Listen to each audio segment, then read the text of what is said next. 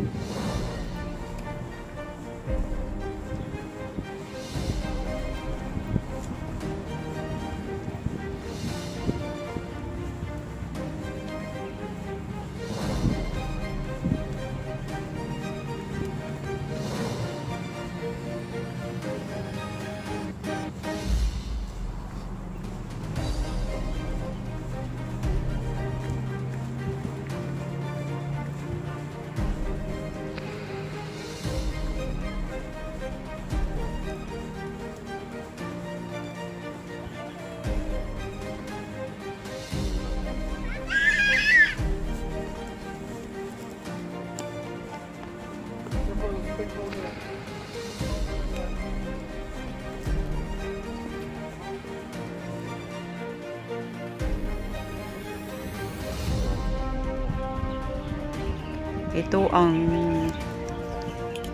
dam dito sa Hong Kong. nandito na tayo Ayan. sa nandito na tayo sa iniinom na Ano tubig. dam ng water reservoir.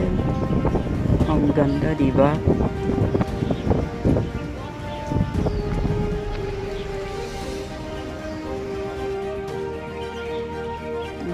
Mo ang ang taas pala dyan. Thank you, thank you for watching sa aking munting video. God bless us all. Bye-bye sa lahat.